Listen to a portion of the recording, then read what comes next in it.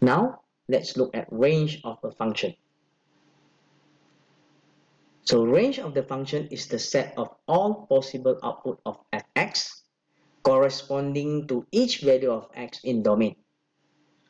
So we will refer to y-axis in order to determine the range.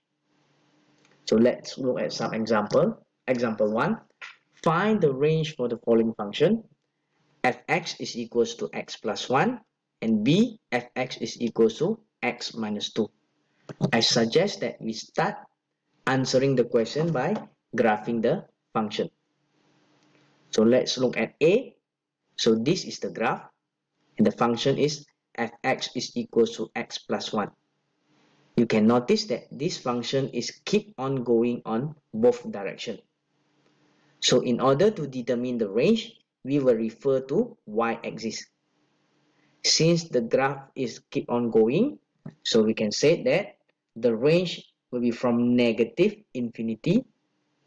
So the range will be from negative infinity to positive infinity.